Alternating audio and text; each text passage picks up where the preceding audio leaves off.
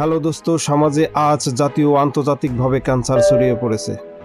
এই ক্যান্সার থেকে সমাজ কীভাবে মুক্ত হবে, না আদৌ মুক্ত হবে না?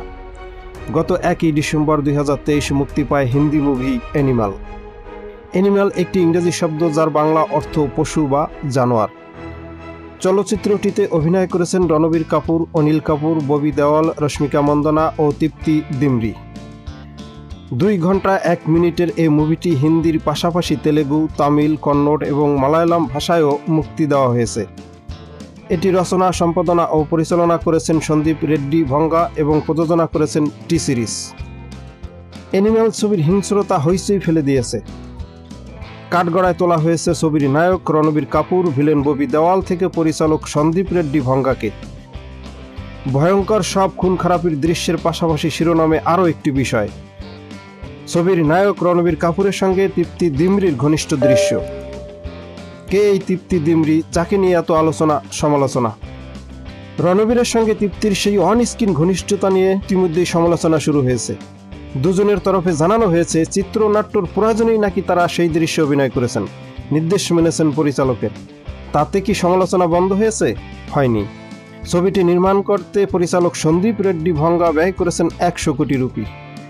এবং মুক্তির পর থেকে এ ছবিটি রোজগার করেছে ছয়শো পনেরো কোটি রুপি। অনেকেই তারিফ করেছেন রণবীর আর ববির অভিনয়ের জন্য। তার পাশাপাশি রণবীর এবং তৃপ্তির ঘনিষ্ঠ দৃশ্য নিয়েও চলছে নেগেটিভ সমালোচনা। সোশ্যাল ক্যান্সার কীভাবে ছড়ায়?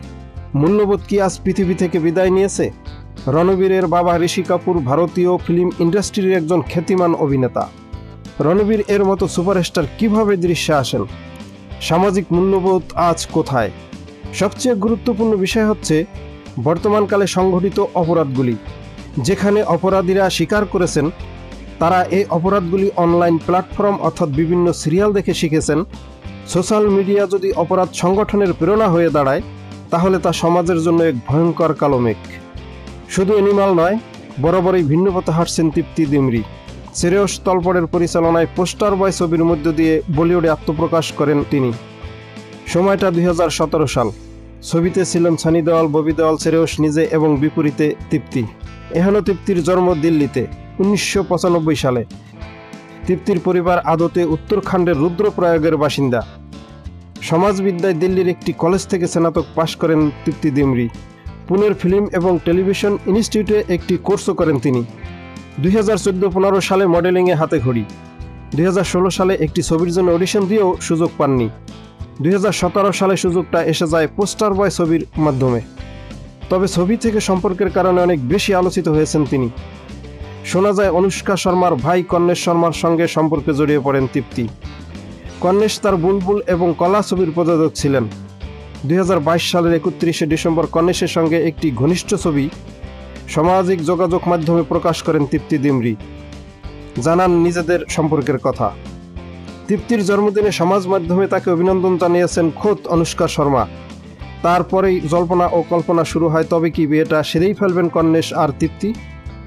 এর মাঝেই কন্যেশের সঙ্গে প্রযোজনা ব্যবসা ছেড়ে বেরিয়ে আসেন অনুষ্কা শর্মা।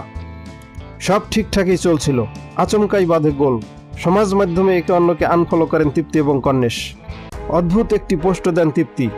সেখানে কন্যেশের উদ্দেশ্যে তিনি লেখেন, লোকে অনেক কথাই বলবে, কিন্তু তাতে কিছু যায় আসে না। যাতে তুমি ভালো থাকো, তাই করো। কন্যেশ সম্পর্ক ভাঙ্গার বিষয়ে কিছু মুখে বলেননি।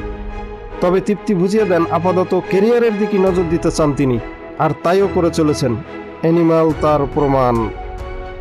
থ্যাংকস ফর ওয়াচিং অ্যান্ড ভিডিওটি ভালো লেগে থাকলে প্লিজ সাবস্ক্রাইব করে সাথেই থাকুন।